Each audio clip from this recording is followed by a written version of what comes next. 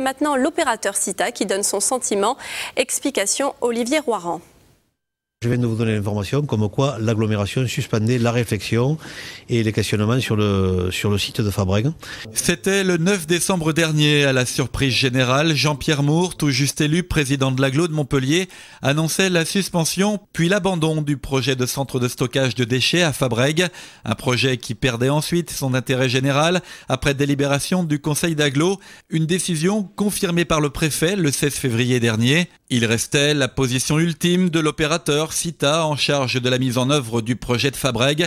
Il s'exprime aujourd'hui sur la question. Nous avons pris la décision d'abandonner ce projet, hein, de, de l'arrêter pour se mettre en, on va dire en phase avec la décision de, de l'agglomération et du, du président euh, Moore. Il n'y a plus aujourd'hui les éléments euh, réunis pour euh, pour le mener à pour le mener à terme. Il m'est déjà arrivé, vous voyez, ça fait dix ans que je travaille chez CITA, il m'est déjà arrivé une fois, hein, c'est la deuxième fois d'arrêter comme ça un, projet, mais je vous dis la statistique est, assez implacable. Hein. On dit en gros dans la profession, il y a un projet sur trois qui va au bout.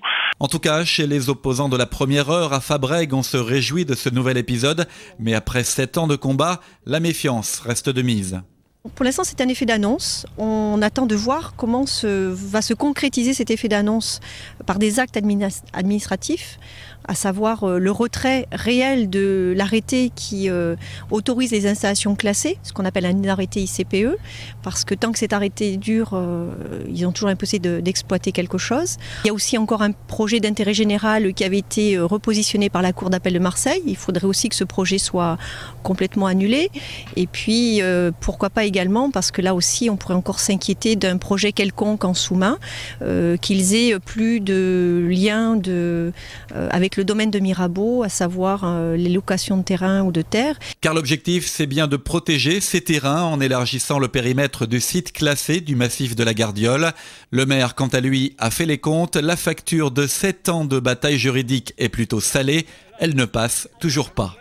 Ça a coûté quand même un demi-million d'euros euh, en frais d'action juridique euh, et en frais d'études.